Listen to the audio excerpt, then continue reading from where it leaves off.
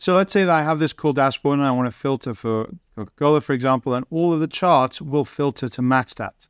So I'm going to show you how to make this in the video with this really cool interactive dashboard where you have things like card visuals and you have line charts and bar charts and pie charts and also these lines at the end called spark lines. I'm also going to show you how you need to decide whether to get charts directly from the data or via pivot tables and a whole bunch of other things like color coding it to match your logo. By the way, if you just want a copy of this workbook, then there is a link in the description of how you can get that. So let's get started. So here I have my data in a blank file, and I'm just going to call this raw data. So I have certain columns, city, singer, sponsor, prior sales, current year sales, date, country, females, males, notes, and month, which grabs the month and year from the date column using this formula. I'm not going to go into detail about the formula because I've got quite a lot to cover in this video.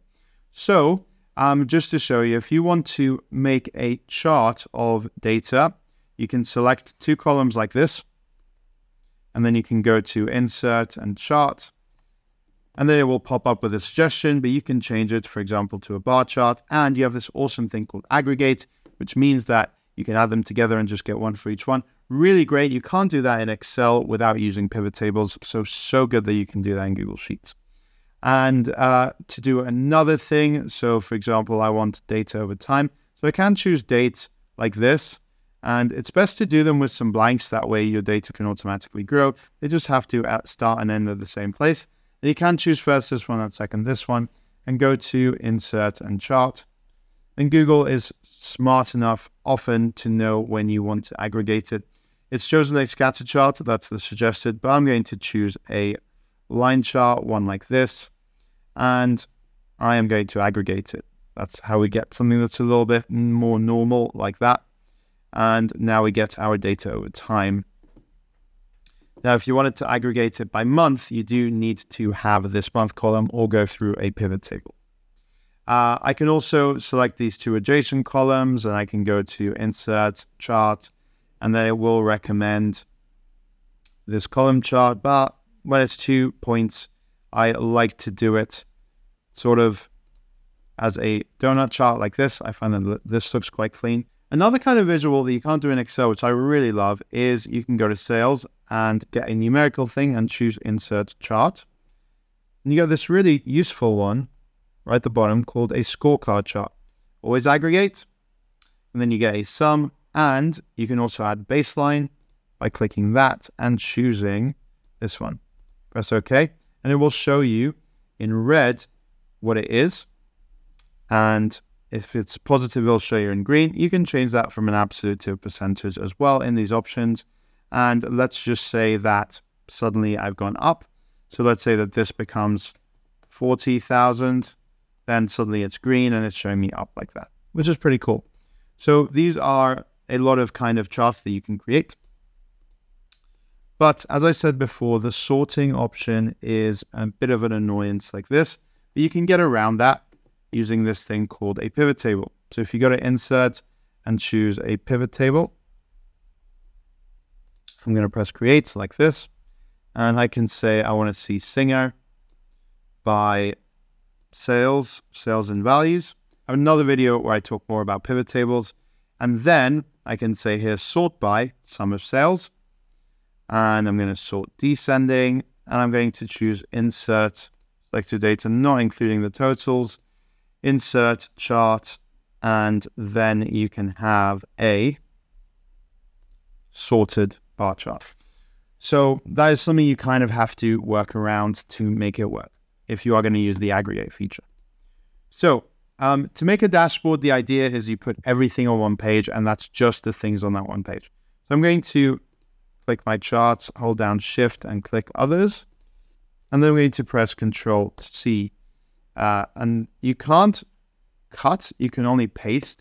So if you do that, then it actually will keep the charts in the original place, which is a bit annoying. In Excel, it would allow you to just move them, but here you have to kind of keep them as they are and then move them here.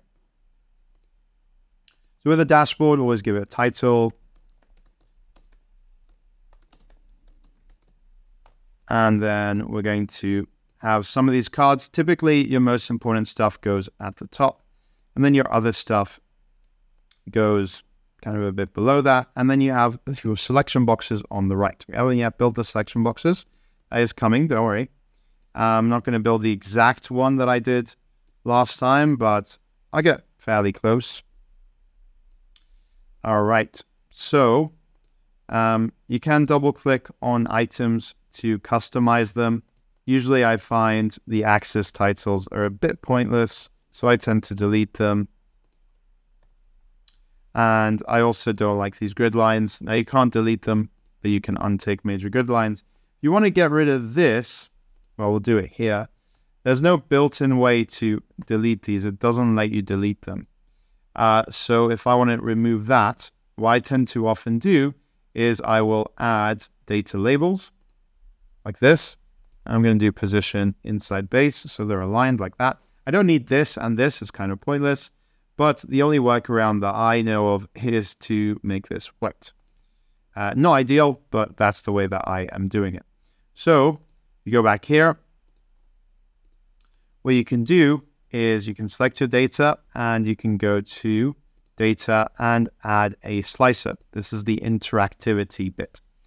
So you can say, choose the categorical field. So city is a good one. And then I'm going to do data and add a slicer.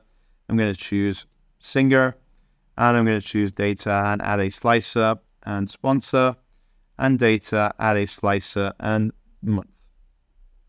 I'm also going to do the wrong one and you're going to see what the problem with that is. So I'm going to do just sales. So anything that's a numerical figure, um, it doesn't really work. These kind of act as filters. So I can go here and I can filter for a city like that. And it will only show me those in both the source data and in the charts and in associated pivot tables.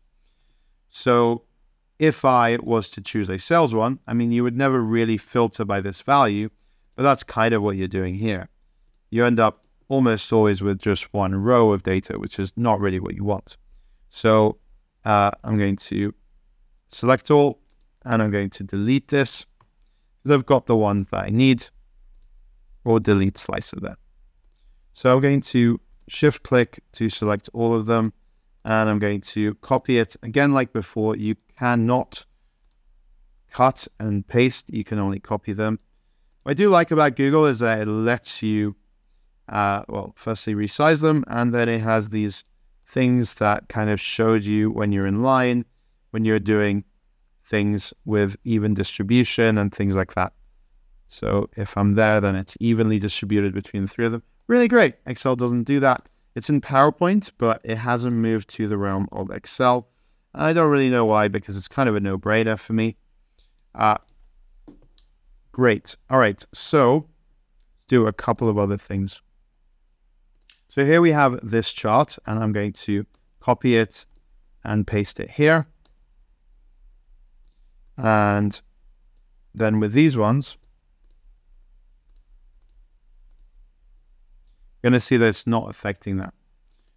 Now, slicers are finicky. If I go to the three dots and I choose Edit Slicer, you'll see that I've ticked the box that says Apply to the pivot tables.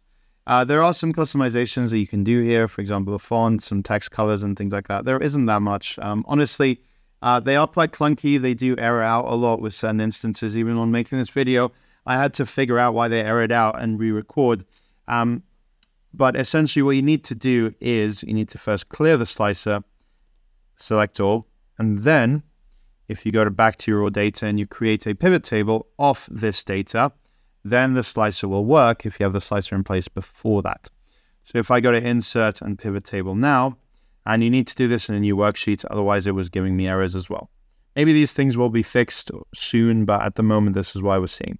So I'm going to say I want to see singer and I want to see females and males. And I want to sort by females in a descending order.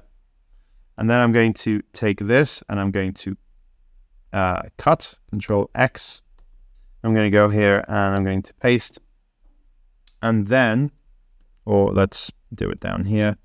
We don't need this one, so I'm going to delete that because it's got errors anyway. And then what I can do is if I filter, then it is going to actually affect the pivot table. As long as I keep that selected, that says apply to pivot table, which I can get to from edit slicer. There we go. So now it is working. And any chart of this will work as well. So if I select that and I go to uh, insert chart, and here I have a totaling one. So I'm going to choose uh, this one.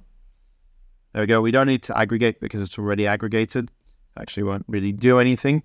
Um, and you can rename them here. So if you just want females and males, it'll rename it there and it'll follow through to that. If you want to edit this, you can just double click it and edit it. So I would want to say breakdown by singer. And same as before, delete the clutter you don't want or make it white if you need to. All right, and now just to show you this one, if I was to filter, change the slicer selection, this would affect the chart as well. These are sorted, which is good. You have to sort by females, so even if males is more, then it will help that much with the sorting. All right, some other things you can do with pivot tables. So you can actually copy and paste them. I actually find this feature really useful to make new ones. And in this one, I'm going to choose some other fields. So I'm going to go with date in rows. And let's just go with males. That's fine. And what is useful to know is that you can right click on a date and choose create pivot table group. And you can just choose the month, or I like to often do the year month uh, because that way it will aggregate over multiple years. And here I can choose insert chart and I'm going to choose an area chart, but one of these kind of stacked ones, like step ones, I mean.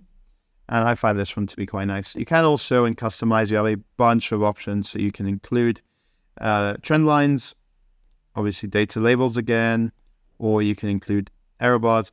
Um, I personally don't find there's that many options here. It's much more limited compared to Excel, but there is quite a lot that you can still do. Um, and there are some other visual types like the card that is really, really useful and the fact that you can aggregate. So there's definitely pros and cons between all of them. So you another kind of visual, which is interesting, is you can select uh, columns. You could also do non-adjacent with control and you can do insert chart. And you actually have a visual called a table chart, which is interesting. Uh, you have control over things like pagination. So you could say that someone can go to the next one, which is actually quite interesting because it means that you can get a lot more and you don't have to make sure that you have everything in view, which is quite nice. You also, of course, have aggregation, which essentially allows you to create a pivot table and the user can sort by whichever column they want. So it does become quite nice there. Uh, it's a little bit limited, but the pagination feature can be quite nice. So um, Control C, it doesn't even show you on right click that you can do that and Control V here to paste it. Now, if you are going to use uh, tables, regular tables, for example, pivot tables like this inside your dashboard, then I do recommend you add visual flair with conditional formatting and something else called Sparkline. So I've cut and, and pasted it. And here we're going to now drag the date into columns we're going to add sales over here. And in rows, we're actually going to add singer like that. So this is our pivot table and it is quite detailed. I don't want a grand total, so I'm going to show, not show the total there. And now what I can do is I can select these numbers. I can go to format and conditional formatting. I love conditional formatting. You're not already using it, highly recommend it. And you can do something like this, which shows you visually the highs to the lows. You can customize it further if you want to. If you want to get a trend line for each one, you can use a function called equals sparkline and data and options. I'm just going to do the data part. I do have another video that I did very recently on all of the options. They are worth knowing about, but that's really nice. And you can drag that down and it can give you this line chart inside the cell, which is pretty nice. So um, if we want to get the format to copy, so I'm going to say chart or trend. Then what we can do is you can actually recolor things. I can change the fill color using this thing called the eyedropper. I love the eyedropper. Pick a custom color, choose that. Exists in Google Sheets, but not Excel, unfortunately. And I'm going to choose the eyedropper here and just make sure that I get exactly the same that it, it feels like it's continuous. Uh, this one is going to be white text though. Perfect. Great. So these are all related to the slicer. It does all kind of work. So if I was to change the sponsor to be just Coca-Cola, then these would change. It would give you this NA error. So I guess best to uh, wrap it inside an if error. Essentially, if there's only one value, then it does that. So if error uh, will do absolutely nothing if there's no error. But if there is an error, then you have a value if error. And I've done speech marks, speech marks to replace it with a blank. Uh, and I'm going to control D to drag that down. And just to show you now, if I was to choose Coca-Cola again, it would just give me a blank. It wouldn't give me an error. So that's a little bit nicer than what we had before.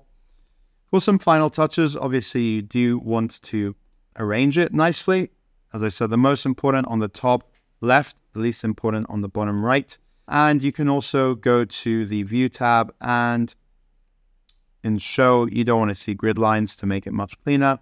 And also in view, you can choose the formula bar. You don't need to see that. So it gives you a little bit more real estate to see what you're doing. And then if I go back to my other one, this is how it looked. So I have three cards. Uh, probably want to do some stuff to distribute them evenly, move them around and have this or everything's in line. The idea is you can see it all in one page without scrolling. And now if I select all, it works pretty nicely. So there is more that you can do with charts. Um, you can have and customize and series.